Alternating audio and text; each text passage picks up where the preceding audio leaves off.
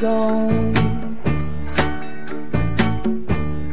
I can see. Probably know my dad, Terry Bradshaw. This is my beautiful wife, Tammy. Say hi, Tammy. Hi, Tammy. The best part is we can mess with Dad.